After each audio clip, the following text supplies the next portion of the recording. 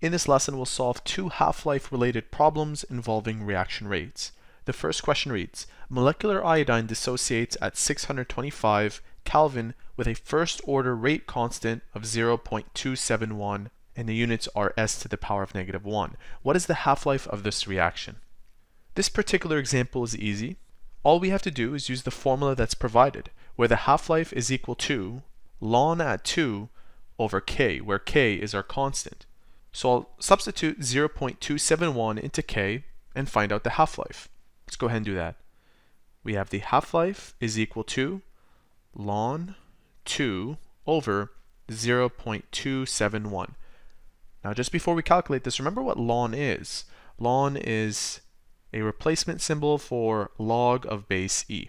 Okay, so using our calculator, I'll type in ln 2 divided by 0.271 and we should round this number off to three significant figures so it becomes 2.56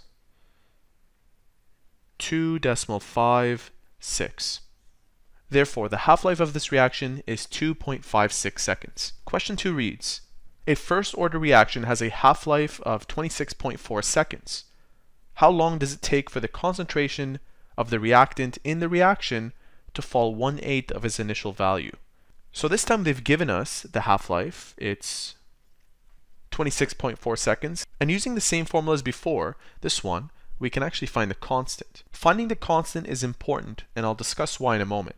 So I'll write down 26.4 is equal to ln 2 over k.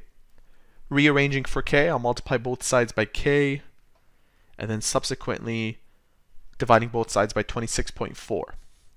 So ln 2 divided by 26.4, and we end up with 0.02625.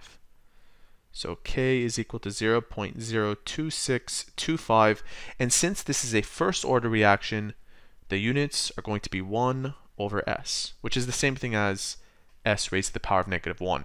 The reason why we want this is because for first order reactions, you need the constant multiplied to the independent variable being your time. Let me show you what I mean.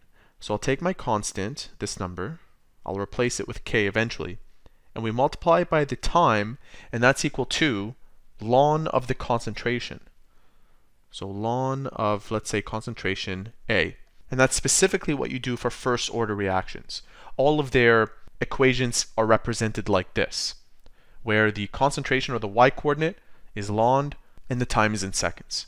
So let me substitute what we have currently. We have 0 decimal 0.02625 and I know that this number should be to three significant figures. I haven't forgotten that. So I'll just put a dot right here so I don't forget.